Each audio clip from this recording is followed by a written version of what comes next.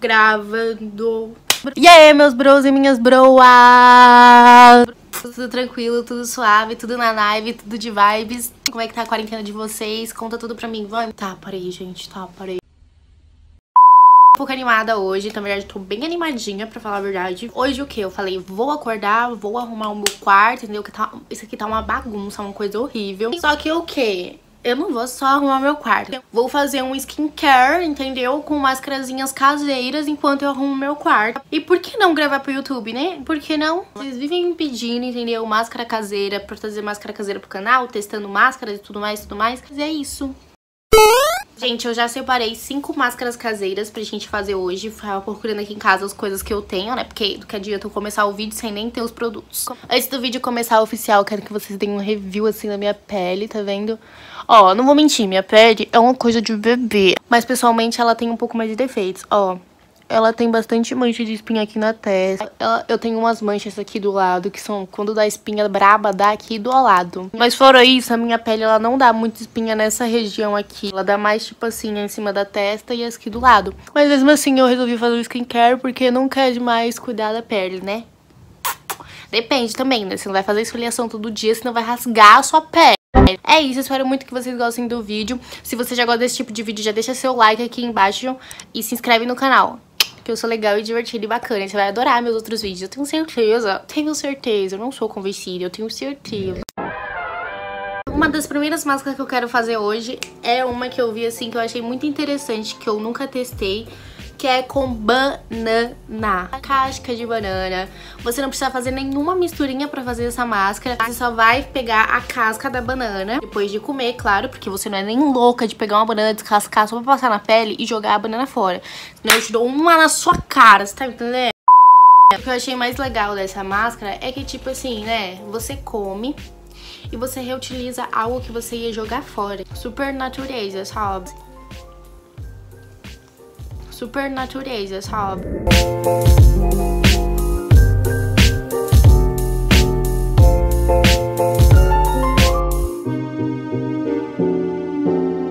Bom, gente, é isso. Eu passei a casca de banana bastante no meu rosto. Tipo assim, não fica visível, mas eu sinto que tem uma camada de alguma coisa na minha pele. E agora a gente espera alguns minutinhos.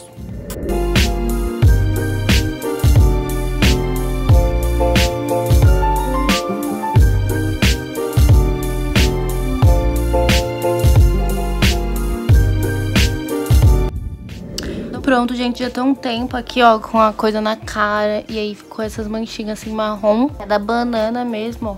Parecendo que eu levei um, cair no, na lama, assim, de leves. E agora eu vou lavar rapidinho, peraí, ó. Prontinho, lavei a minha pele, tá bem macia. Nem passei sabonete, tipo, minha pele tá bem sequinha. Minha pele geralmente é bem oleosa. Eu acho que essa máscara de banana ajuda muito na regulação da oleosidade, porque tá muito macia. E não, não tô sentindo nada de oleosidade, também não tô sentindo nada de ressecamento, sabe? Eu achei que ela hidratou. Agora vamos pra segunda receitinha. Eu escolhi a segunda mais fácil, porque depois a gente vai só pras misturinhas mesmo, que é com babosa. Já vi muita gente fazendo esse padeio completo só com babosa, aloe vera, enfim tira esses espinhos pra não me machucar. Pegar a babosa e cortar no meio. Eita, nossa, eu sou muito esperta. Você vai cortar a babosa no meio. Esse gelzinho aqui de dentro a gente vai pegar e vai passar na pele.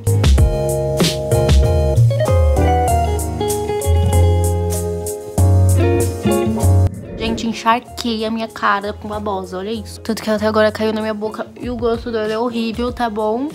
Gente, tá dando uma certa ardidinha na minha pele. Tomara que seja só coisa de momento.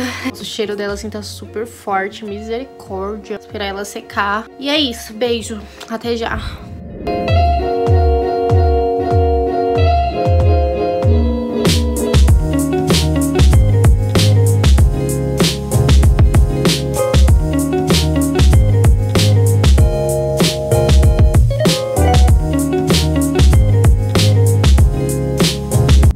Gente, ainda tô com a babosa no rosto, nem dá pra perceber porque ela fica toda transparente. Mas tá dando uma formigadinha de leves e agora eu vou tirar. Peraí.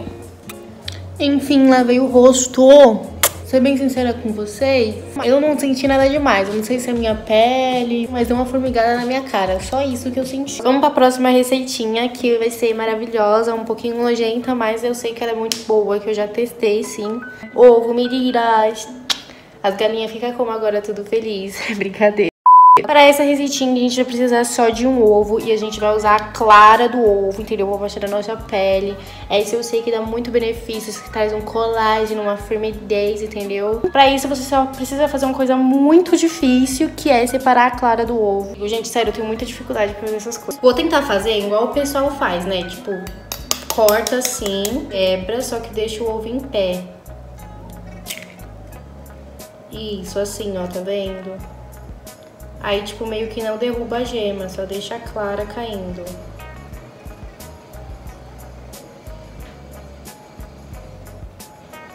Cara, eu consegui! Gente, só, aqui só tá a gema.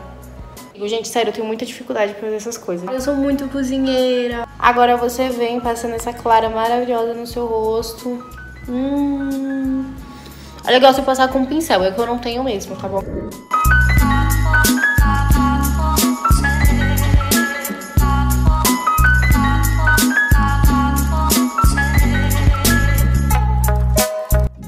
Enfim, gente, acho que já tá bom. Meu ele tá encharcado. Agora esperar secar, essa coisa gostosa.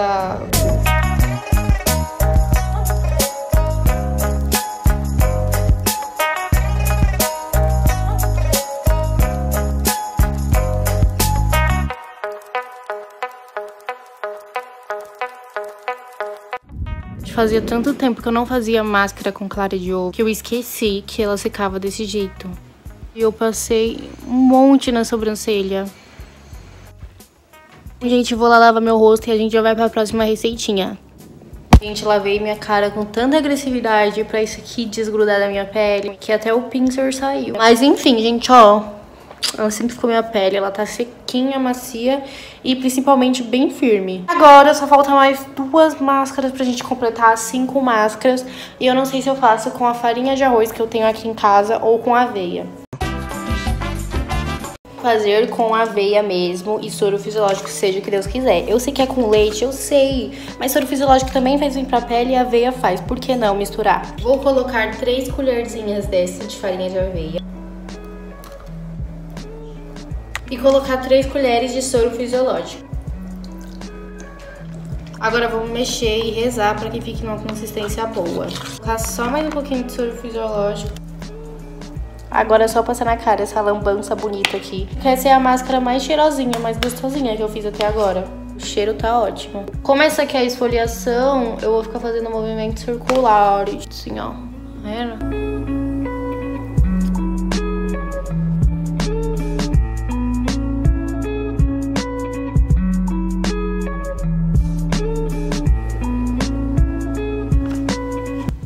É isso, agora eu só vou esperar ela aqui agir um pouquinho na pele. Não sei se tem que esperar, mas eu vou esperar.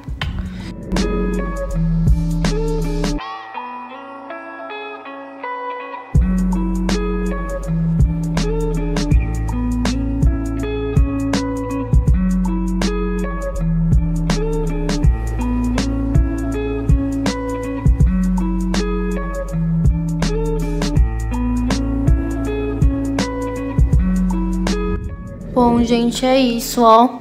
Tá sequinho. Ó, se eu passar a mão já cai. Então eu vou lavar meu rosto agora. Pera aí, ó. Uau! Não, gente, sério. Nossa. Cara, olha a minha pele. Se minha pele tava boa no começo do vídeo, o que, que ela tá agora? Sensacional. Vou pra última máscara porque era a que eu tô mais ansiosa pra testar, que eu nunca fiz. E eu já vi muitas pessoas que deram errado, manchou a cara e tal, mas eu tenho muita vontade de testar. Vai ser de açafrão, mereiras. Gente, eu tava pesquisando sobre o que a gente pode misturar com açafrão e tudo mais pra passar no rosto. Tem mel, que é o que eu vejo mais pessoal fazendo, só que não tem mel aqui em casa. O pessoal também faz açafrão com babosa, um monte de coisa. Só que uma das coisas que eu vi eu fiquei interessada porque eu nunca fiz, porque eu tenho medo, minha pele é oleosa foi óleo de coco e açafrão. Ela vai matar, porque ela odeia que eu pego o óleo de coco dela. Vou pegar uma colher de óleo de coco e colocar aqui. Vou fazer uma mágica aqui pra derreter. Enfim, gente, tá derretido aqui, ó. Vou colocar só uma colher de açafrão. Vou colocar outra colher. Ficou nessa consistência, ó. Eu acrescentei duas colherinhas de açafrão. Gente, parece cocô de criança. Ai, vida, por que me fizeste tão palhaça? Essa aqui é recomendado tirar ela com água morna. Eu imagino que seja por causa do óleo de coco mesmo, né? Porque na água gelada nunca que o óleo de coco vai sair. Aí eu vou tirar essa máscara já no banho, gente. Por isso que ela é a última.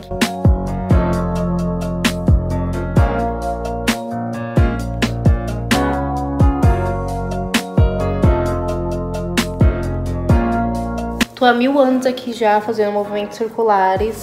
Enfim, é isso. Até já.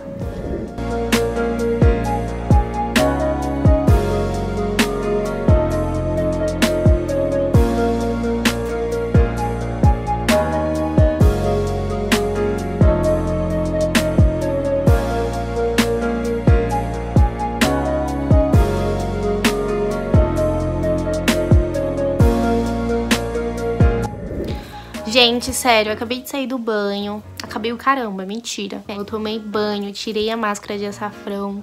Não ficou nada marcado na pele. Quando eu tirei o óleo da minha pele, eu jurava que minha pele ia ficar super oleosa, que ia ficar aquela coisa. E, mano, tá muito gostosa. Minha pele tá super hidratada. Olha que pele de bebê, gente, sério, olha. A única coisa que tem aqui são essas manchinhas, mas se vocês olharem, ó, não tem nenhum volume assim de espinha.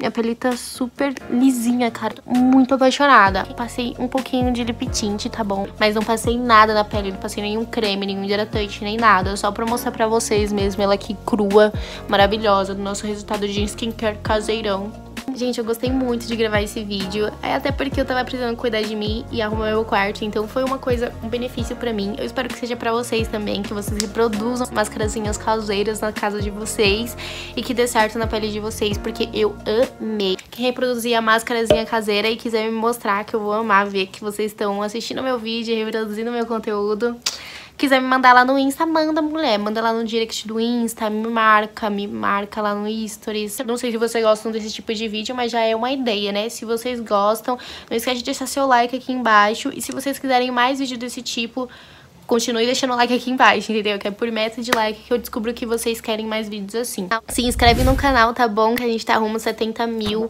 Quando eu tô gravando esse vídeo, a gente tá antes de 70 mil. Então, se tiver chegado, eu ainda não sei. Se inscreve bastante aí no canal, tá? Vem fazer parte da família Manu Hakuna. Meninas com pele de bebê. Eu tô muito nojento, coro. Quem que é Jade Picon perto de mim, gente? A pele da Jade Picon não tem nem comparação com isso aqui, cara.